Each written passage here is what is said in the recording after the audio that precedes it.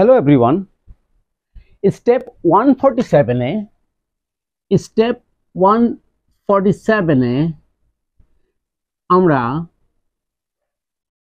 Complex compound এবং সিম্পলের ছোট্ট একটা নমুনা দেখিয়েছিলাম।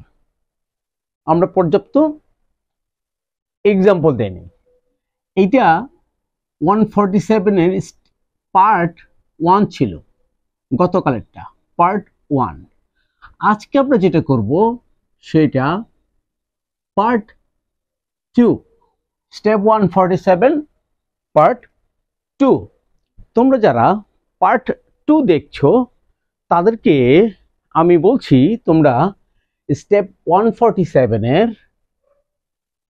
পার্ট ওয়ানটা একটু দেখে আসো, আমার ভিডিওজে এবং সেখানে আমি বলতে চেয়েছি যে যদি যদি না, যদিও যখন যাতে এতই যে যেন যেহেতু এই যে জ গ্রুপের যত রকমের কনজাংশন আছে, সেই কনজাংশনগুলো বেসিকলি কমপ্লেক্স সেন্টেন্স তৈরি করে থাকে। আর এই জ গ্রুপটা উঠিয়ে দিয়ে যদি আমরা এই প্রেপোজিশনাল ফ্রেজ কিংবা প্রেপোজিশন দিয়ে সেই জ গ্রুপের বাংলাগুলোকে, ইংলিশগুলোকে ভেঙে ফেলি, তাহলে বাক্যটি হয়ে যাবে সিম্পল আমরা একটু পরে তার এক্সাম্পলগুলো দেখব। এবং আমরা এও বলেছি যে জ গ্রুপের যত রকমের কনজাংশন আছে, এগুলো যেহেতু কমপ্লেক্স তৈরি করে কমপ্লেক্স থেকে যদি আমরা কম্পাউন্ডে আনতে চাই, তাহলে আমরা অর আদারওয়াইজ এখানে আদারওয়াইজ কতটাও ইম্পর্টেন্ট অর আদারওয়াইজ অথবা but and so and therefore and thus এইভাবে অ্যান্ড সো তাই অ্যান্ড ইমিডিয়েটলি তৎক্ষণাৎ আইদার অর এইটা অথবা ওইটা, এইটাও না, ওইটাও না, শুধু নয়, বরং আরও এই কনজাংশনগুলো দিয়ে আমরা কম্পাউন্ড তৈরি করে থাকি। কিন্তু আমি পর্যাপ্ত এক্সাম্পল দিই নেই উইচ ইজ ওয়াই আমরা এখন স্টেপ ওয়ান ফর্টি সেভেনের পার্ট টু শুধুমাত্র এক্সাম্পল নিয়ে তোমাদের সামনে আমি দাঁড়িয়েছি। চলো কথা না বাড়িয়ে আমরা এক্সাম্পলের দিকে চলে যাই। যদি বাক্যটি তুমি, তোমরা এরকম ভাবো যে যদি তুমি কঠোর পরিশ্রম করো if you work hard you will prosper in life. যদি তুমি কঠোর পরিশ্রম করো, তাহলে তুমি জীবনে উন্নতি করবে।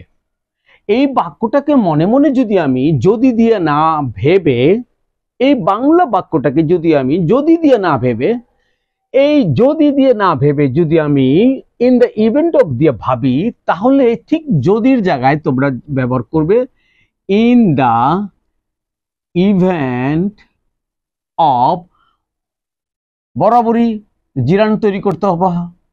আমরা জানি in the event of working hard তারপরে ইউল প্রসপার ইন লাইফ ওইটাকে আমরা আর ভাঙছি না। আমরা শুধুমাত্র ইফের পরিবর্তে যেই প্রেপোজিশনাল ফ্রেজটা ব্যবহার করেছি, সেইটার উদাহরণ তোমাদেরকে আমি দেখানোর চেষ্টা করেছি। এখন তোমরা যদি কোনো ইংলিশ বাক্য লিখতে গিয়ে যদি দিয়ে কল্পনা করো বাক্যটি, তাহলে তোমরা অবশ্যই ইফ ব্যবহার করবে। আর যদি মনে করো আমি এটাকে সিম্পল স্ট্রাকচারে আনব, কিন্তু ইফ কথাটাকে ব্যবহার করব না, বরং ইফের পরিবর্তে যে প্রেপোজিশনাল ফ্রেজটা আছে, সেটা ব্যবহার করব, তাহলে বাক্যটা আরেকটু ভেরিয়েশন হয় এবং বাক্যটা আরেকটা রূপে গিয়ে দাঁড়ায়। যখন তোমরা এইভাবে লিখতে শিখবে আলটিমেটলি তোমাদের যারা পরীক্ষক থাকবেন, যারা তোমাদেরকে মার্ক ডিস্ট্রিবিউট করবেন, তারা যখন দেখবে যে এই ছেলেটি একসঙ্গে কমপ্লেক্স এবং কমপ্লেক্সের পরিবর্তে সিম্পল এবং সিম্পলের পরিবর্তে কম্পাউন্ড কিংবা কম্পাউন্ডের পরিবর্তে কমপ্লেক্স লেখায় উস্তাদ, তখন তোমাদের ব্যান্ড স্কোরটা এমনিতেই বেড়ে যাবে। তাহলে চলো আমরা আরেকটি উদাহরণ দেখি।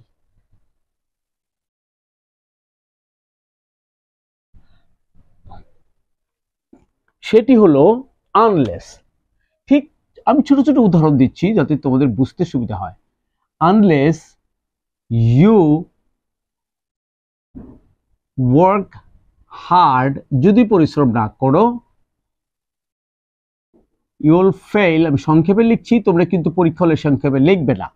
You'll fail in the test তুমি পরীক্ষায় ফেল করবে। ঠিক আনলেসের এখানে যদি আমি উইদাউট কথাটা ব্যবহার করি, এটা একটা প্রেপোজিশন তাহলে উইদাউট ইয়োর ওয়ার্কিং হার্ড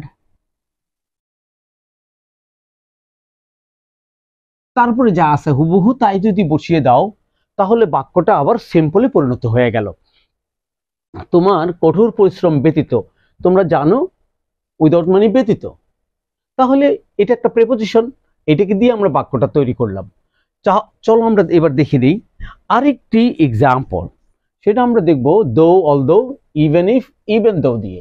এবং এই যে জগ্রুপ দিয়ে তোমরা বাক্যগুলো চিন্তা করবে তোমরা যদি জগ্রুপের ঠিক কাছাকাছি যে প্রেপোজিশনাল ফ্রেজটা এইটা যদি চিন্তা করো, তাহলে বাক্যগুলো আরও স্মার্ট হয়ে যায়। যেমন, আমি দৌ কথাটা ব্যবহার করছি, though, he, worked very hard, he failed, sad, he i'm sorry. Uh, he failed.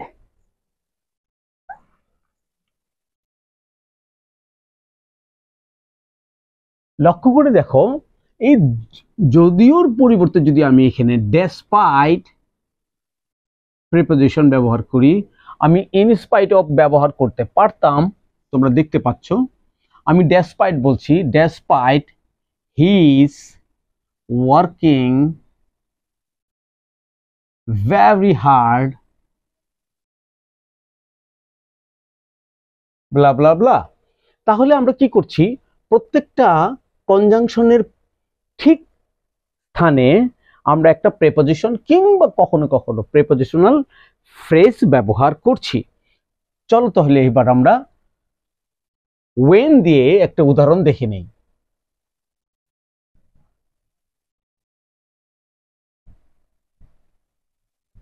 সেটা হলো ওয়েন আই ওয়াজ ওয়ার্কিং যখন আমি কাজ করছিলাম ওয়েন আই ওয়াজ ওয়ার্কিং যখন আমি কাজ করছিলাম, যখন আমি কাজ করছিলাম ইউ কল্ড মি তুমি আমাকে কল করেছিলে।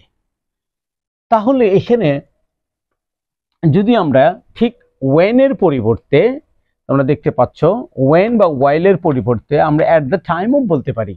এখানে আমরা অ্যাট দ্য টাইম অফ বলি at the time of my working আমার কাজের সময়ে ইউ কল মি আশা করি তোমরা সহজে বুঝতে পারছ। তোমরা যদি যখন কথাটা ভাবো, আর তখনই যদি তুমি বাক্য তৈরি করো, এবং যদি চিন্তা করো যে আমি যখন দিয়ে বাক্যটা লিখব না, বরং যখনের পরিবর্তে যে প্রেপোজিশনটা আছে বা যেই প্রেপোজিশনাল ফ্রেজটা আমি জানি, সেটাকে দিয়ে আমি বাংলাটা তৈরি করে নেই, তাহলে আমি আবারও বলছি বাক্যগুলো স্মার্টার দেন এনিথিং হয়ে যায়। চলো তাহলে আমরা আরেকটি এক্সাম্পল দেখে নিই, সেটা আমরা দেখব সোদের দিয়ে।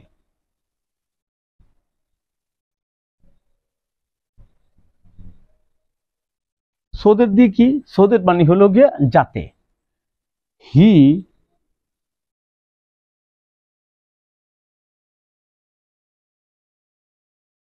ডোনেটেড সে দান করেছিল। হিউজ মানি প্রচুর টাকা পয়সা। ও ও। সো দ্যাট যাতে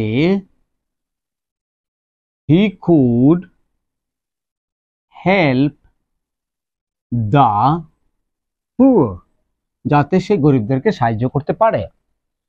ঠিক জাতের জায়গায় এখানে যে সোদেট কথাটা আছে, এইটার জায়গায় যদি আমি উইথ এ ভিউ টু বলি he donated huge money with a view to with a view to I am sorry hand writing not so good with a view to তখন অবশ্যই হেল্পিং আসবে। হেল্পিং দ্য পুয়ার আমি যদি with a view two না বলি in order two বলি এখানে in order to তখন হবে in order to help the poor আমি যদি শুধু টু বলি টু হেল্প দ্য পুয়ার আশা করি তোমাদের বুঝতে কষ্ট হচ্ছে না। এবং আমরা দেখতে পাচ্ছি যে শুধুমাত্র যে কনজাংশনগুলো আমাদের আছে, সেই কনজাংশন পরিবর্তে যে প্রেপোজিশনাল ফ্রেজগুলো আছে, সেই ফ্রেজ প্রিপোজিশনাল ফ্রেজগুলোকে ব্যবহার করে আমরা কমপ্লেক্স সেন্টেন্সকে বা কমপ্লেক্স স্ট্রাকচারকে আমরা সিম্পল স্ট্রাকচারে অবলীলায় চেঞ্জ করতে পারছি। আরেকটি এক্সাম্পল যেটা আমরা দেখব সো ডট ডট দ্যাট নিয়ে। ক্লাসটা একটু লেংথি হচ্ছে। ইউনো ওয়াই বিকজ আমরা এখানে বেশ কিছু এক্সাম্পল লিখে নিচ্ছি। এখন আমরা দেখব সো ডট ডট দ্যাট এটাকে আমরা প্রথমে অ্যাফার্মেটিভ বাক্য দিব। যেমন he is so talented that he understands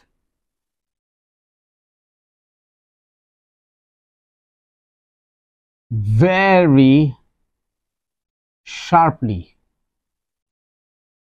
সে এতই ট্যালেন্টেড যে সে শার্পলি বুঝে ফেলে।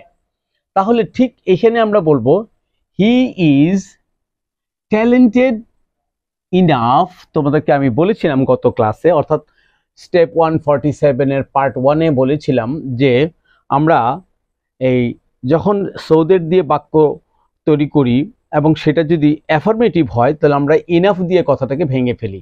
সিম্পলে নিয়ে যাই। যেমন he is he is talented enough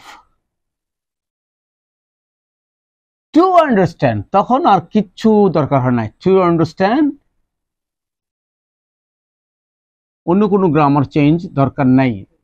To understand very sharply he is talented enough to understand very sharply আমরা যদি বাক্যটাকে নেগেটিভ বলতাম, যেমন হি ইজ সো উইক এতই দুর্বল that he can't move an an inch, এক ইঞ্চিও লড়তে পারে না। বাক্যটা নেগেটিভ আছে। হি খান মুভ তখন আমরা এটাকে এই সো এর পরিবর্তে টু উইক টু উইক শুধু টু মুভ অ্যান্ড ইঞ্চ বললেই চলবে। He is too weak to কথাটা বুঝো তো। টু কথাটা দিয়ে বোঝায় যে অতি মাত্রায় মাত্রার বহুত ঊর্ধ্বে স্বভাবতই এটা নেগেটিভ যেমন হি ইজ টু টায়ার্ড সে খুবই ক্লান্ত। এতই ক্লান্ত যে হাঁটতে পারবে না। He is too short to touch the ceiling ceiling touch করতে পারবে না সে। অনেক খাটো সে। সো আমরা টু এর ব্যবহারটা দেখেছি। সো দ্যাটের পরিবর্তে অ্যাজ ইফ অ্যাজ দোটা আমরা মুখেই বলে দেই, তারপরে আমরা সিন্সের ব্যবহারে যাচ্ছি he talks as if he were a king অথবা হি টকড ফার্স্ট পারফেক্ট তোমরা এই দুটোর ব্যবহার আমার ইউটিউব টিউটোরিয়ালে পূর্ববর্তী ক্লাসগুলোতে দেখে নিতে পারো, যেটা তোমাদের জন্য অবশ্যই সহায়ক হবে। আমরা আরেকটি উদাহরণের দিকে যাচ্ছি, যেহেতু অর্থে। যেহেতু অর্থে। যেহেতু অর্থে উদাহরণে গেলে এটার কি রূপ দাঁড়ায় এবং এটাকে আমরা সিম্পলে করার জন্য কি রূপ দাঁড়ায়, সেটা আমরা একটু দেখে নেই, চলো।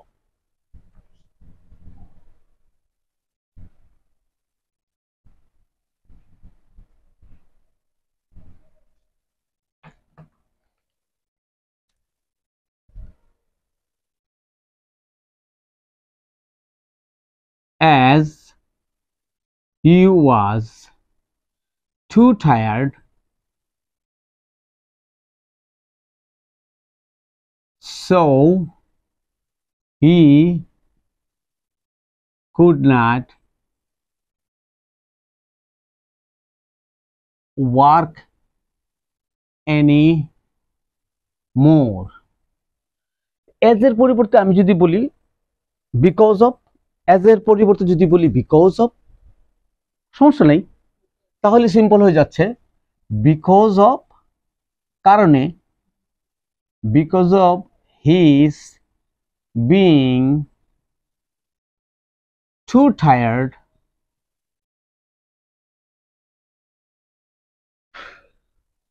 পরবর্তীতে he could not work anymore তখন আর সো কথাটা এখানে লাগছে না। He could not work anymore because of মানেই তো কারণে সো অর্থ তো কারণে তাই তাই মানে কারণে সো আমাদেরকে এই শোটার ব্যবহার কোনো প্রয়োজনীয়তা দেখছি না। আমাদের বাকি আরেকটা আছে সেটাকে আমরা দেখে নিই। As soon as as soon as হলো যখনই as soon as as soon as he saw the police, he ran away. ঠিক অ্যাজ সুন অ্যাজ এর জায়গায় তোমরা যদি অন যুক্ত করো অনের অর্থ এখানে উপরে অর্থে আসবে না। অন অর্থ তৎক্ষণাৎ, সঙ্গে সঙ্গে। আর এটা একটা preposition on his seeing the police. He ran away. এবং এদেরকে তুমি যদি অর্থ অনুযায়ী সিম্পল না করে তুমি যদি কম্পাউন্ডে করতে চাও, তাহলে তুমি এদের রূপ অনুযায়ী, এদের অর্থ অনুযায়ী or otherwise but and so and therefore and thus and so immediately যেমন as he was tired too tired তাহলে আমরা বলতে পারি he was too tired and so he could not work anymore compound হয়ে গেল। এখন আমরা কম্পাউন্ড কমপ্লেক্স এবং সিম্পলকে গ্রামারে যে পরিবর্তন শিখেছি, সেটা শেখার জন্য আমি ক্লাসটা তোমাদের সামনে নিয়ে আসিনি। আমার মূল টার্গেট হলো, তোমরা যখন যদিও দিয়ে কথাটি ভাবতেই পারো, তোমরা যখন ভাববে, তখন অবশ্যই তোমরা যদিওর পরিবর্তে ডেসপাইট বা ইনস্পাইট অফ দিয়ে বাক্যটাকে ভেঙে ভেঙে নেবে। তাহলে হলো কি, তোমরা প্রচুর পরিমাণে কমপ্লেক্স লিখতেছো, এটা সুন্দর দেখাচ্ছে না, তোমরা এটিকে সিম্পলে অনেকগুলো বাক্যকে সিম্পলে করো, তোমরা যখন লেখালেখি করবে, কিংবা অনেকগুলো বাক্য কম্পাউন্ডে করতেছো, কেন ভাই? তুমি এটাকে সিম্পলে নিয়ে আসো, বা এটাকে একটু কমপ্লেক্সে নাও। অর্থাৎ তুমি যখন তোমার আয়েলস রাইটিংয়ে সকল ধরনের স্ট্রাকচারের স্যাম্পল দেখাতে পারবে, তখন যে তোমাকে মার্কিং করবে, সে অবশ্যই দেখবে যে you have all types of variance variations তোমার কাছে সমস্ত প্যাটার্ন জানা আছে। তুমি যেমন অ্যাক্টিভ লিখতে পারো, তেমন তুমি পেসিভ লিখতে পারো। যেমন তুমি কম্পাউন্ড লিখতে পারো, ঠিক তেমনি আবার সিম্পলও তুমি লিখতে পারো। আবার যখন তুমি সিম্পলই লিখতে পারো, তখন তুমি আবার এই লেখার মধ্যে কমপ্লেক্সের প্যাটার্নও দেখিয়ে দিলে।